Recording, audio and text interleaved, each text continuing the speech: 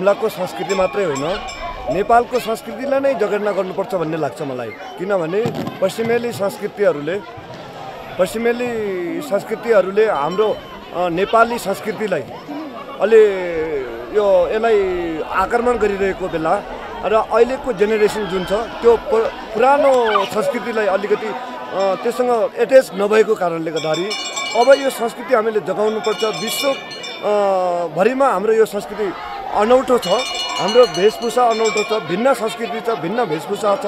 हाम्रो यो संस्कृति अनौठो संस्कृतिलाई विश्वव्यापी गरेर गराउनुपर्छ र यसलाई यो अहिले न्यून हुँदै गएको संस्कृतिलाई अझै जगेर्ना गरेर अगाडि बढाउनुपर्छ भन्ने मान्यताका साथ हामीले यही वैशाख दुई हजार असी साल वैशाख एक गतेबाट हरेक महिनाको एक र पन्ध्र गते यो देउडा लगायत हाम्रो अन्य अरू संस्कृतिहरू पनि छन् जस्तै ढाल नाच दमाया नाच यस्ता यस्ता अनि माङ्गल गाउने अनि धामी नाच जस्ता थुप्रै नाचहरू हामीले यो गरेर हुम्ला जिल्लाभरि नै यसको संस्कृति फैलाउने हाम्रो अभियान छ। यसमा हामी अहिलेसम्म चौरा चौरानब्बेजना सदस्यहरू यसमा आबद्ध भइसकेका छन् र यसको साथसाथै कर्णाली प्रदेशमा समेत देउडा प्रतिष्ठान गठन भएको छ। यसमा पनि पछि आबद्ध हुने र यो जिल्लामा शाखा खोल्ने कुरो भइरहेछ। अहिले हामी हाम्रो संस्कृति जगाउनको लागि संस्कृति संरक्षण समाज भन्ने सिमिकोट हुम्ला गठन गरिएको छ। त्यसको अध्यक्ष सबै साथीहरूले मलाई चयन गर्नुभएको छ। अब यसको अभियान हामी जारी गरिरहेको छौँ। किन अहिलेको जेनेरेसन किन यो यो लोक देउडासँग आबद्ध हुन सकिरहेको छैन?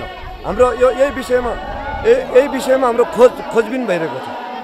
पश्चिमेली संस्कृति जुन हाम्रो आक्रमण गरिरहेछ नि यसको कारणले गर्दाखेरि विशेष गरी हाम्रो यो जेनेरेसन पश्चिमी संस्कृतिमा बढी ढल्किएको छ। र अनि अर्को कुरो के छ भने हाम्रो हुम्ला जिल्लाका विशेष युवा युवतीहरू यहाँभन्दा बाहिर पढ्न जाने बाहिरकै संस्कृतिहरू ल्याएर आउने। त्यस कारणले गर्दा हाम्रो हुम्ला जिल्लाको संस्कृति विलिन हुन जाने भएको कारणले गर्दाखेरि अब यो यसरी हामीले संस्कृति जगेर्ना गर्दै जानुपर्छ भन्ने मान्यता राखेर हामीले यो गरिरहेको छौँ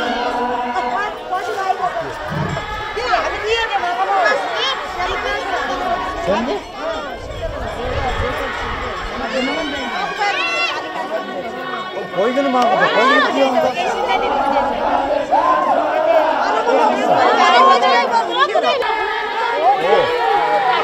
यस्तो तपाईँले प्रचार उगाउने माइक थिएन